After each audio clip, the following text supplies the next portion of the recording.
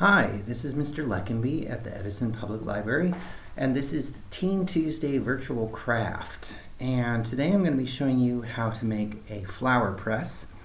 Um, this is a great time of year to start pressing flowers for the fall, and um, so you have something to give people for Christmas and the other holidays in the winter. Um, now, the flower press that I'm going to be making um, requires some tools. Uh, so if you have a drill and a saw, that's basically what you need to make this. Um, so you're going to start off with um, two pieces of plywood or any kind of flat wood. Um, so what I have here is uh, it's probably about a 9 by 9 piece of wood um, and that's that's a pretty good shape because then you can fit almost any size flower or leaf. And that is another thing that you can press in a flower press are leaves. So um, you're going to need two of these. And you're going to cut them to the same size. Uh, and then with your drill, now you can use a hand saw or a power saw. Um, just make sure you're careful and you wear goggles or eye, eye protection and you have an, a grown-up help you if you are inexperienced using tools like that. Uh, the next tool you're going to use is a drill and you're going to drill four holes into each corner of the pieces of wood. Um, the best way to do this is to actually line them up on top of each other so that the holes are going to be exactly lined up on both pieces of wood. All right? Now the next thing you're going to need, this is these are called carriage bolts. Carriage bolts are, um, they don't have a screw or a line in them for screwing. They're actually just, it's just a plain bolt. Um, this is a, a four inch carriage bolt. So you're going to need four carriage bolts and four nuts, wing nuts. They have to be wing nuts. That, I mean, they don't have to be, but that's that's the going to be the easiest way to take the um, flower press apart. All right.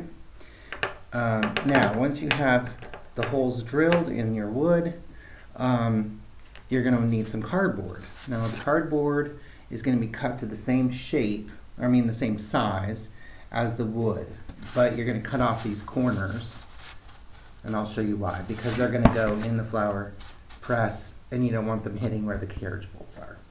All right, so I'm going to move my camera so you can see how this is assembled. All right, here we go. Okay, so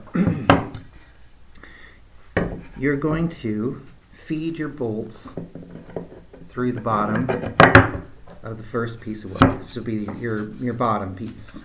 Okay.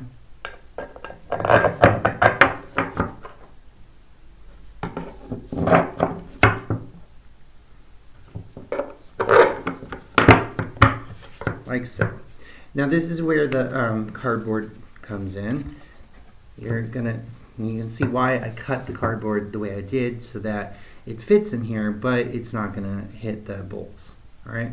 Now the reason we um, want cardboard in here is, well, there's a couple different reasons, but the first one is that um, when you press, when you put your flowers in here, you can create layers. So the more pieces of cardboard you have, have the more layers of flowers you can press in your flower press. So um, you're always going to press one flower or leaf between each thin piece of cardboard. All right, so the more pieces of cardboard you have, the better. Um, when you do press your flowers or leaves, um, it's always a good idea to put um, an extra piece of paper or even Kleenex that's going to absorb the moisture from the leaves or flowers. Um, don't ever use paper towels because those leave an impression. Those have a actually have a, a pattern on them and you don't want to use that. Excuse me. All right, once you have your flower or leaf in there, you're going to put your second piece of cardboard down on top of it.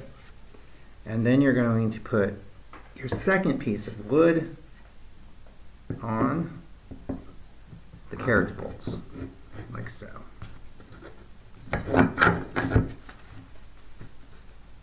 Okay, you're going to screw it all down with the wing nuts and you're going to tighten it. you're going to make it as tight as you can. And most flowers and leaves you need to press for at least 10 days. And what you're trying to do is get all the moisture, wait for all the moisture to come out of the leaves and flowers. All right. Um, and you can always take this apart if you want to add another layer and press a different flower or leaf. You can take it apart while other things are in here. Um, just try not to move it too much. Move the layer that already has the flower or leaf in it. Okay, so it's all pressed down. Now, what I did is I painted the top piece of wood with chalk paint. And the reason I did that is that once I have my leaf or flower in here, I can write down what I have and when I pressed it. So let's say I am pressing a violet. So I can write violet and I can write the date that I put it in here. So let's say 8 4, August 4th. And then I set it aside and um, in 10 days on the 14th, I can open it up and my violet should be all done. All right, so that's how you make a flower press. Um, obviously, you can use other methods. Um, some people just take a book, a big heavy book, and they put the flowers and the leaves in the book and they press it that way. But this is a little more um, involved, a little more uh, elaborate, and kind of fun to make. So if you like making things out of wood, this is a good thing to do. Um, it also makes a nice gift. Your pressed flowers and leaves can be put on cards that you can give to people. All right. So thank you for joining me for Teen Tuesdays uh, virtual craft. Check our website for any other events that are coming up for teens. We're always adding new things. So have a good day and take care.